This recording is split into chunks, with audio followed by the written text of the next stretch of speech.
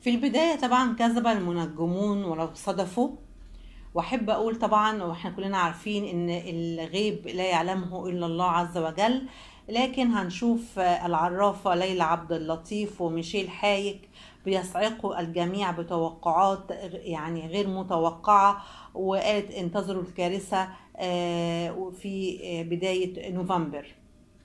تصدر الفلكيين ميشيل حايك وليلى عبد اللطيف الترند مجددا بعد تنبؤاتهم بتنبؤات جديدة وكشفهم سلسلة توقعات جديدة أثارت قلق الجميع خصوصا بعد أن تحققت عدد من توقعاتهم السابقة.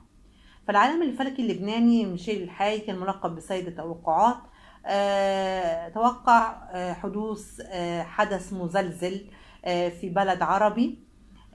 ولكن موضحش إيه هو الحدث ده. وتوقع حايك إن الزلازل في المنطقة تستمر وإن المنطقة تشهد زلزال في البر والبحر لا تشبه ما سبقها.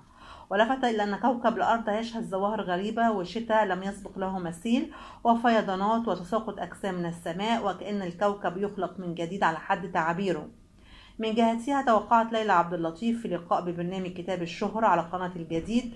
إن فرنسا هتعلن حالة الطوارئ في باريس لحد الحدث مؤسف ومقتل ملياردير بارز ومعروف عالميا في ظروف غامضة بما يؤدي لحدوث بلبلة في العالم وتفجير أحد مستشفيات العالم. توقعت العرافة الشهيرة حدوث زلزال مرعب في أمريكا وسيكون أكبر كارثة تضربها وسيسبب الكثير من الضحايا والدمار.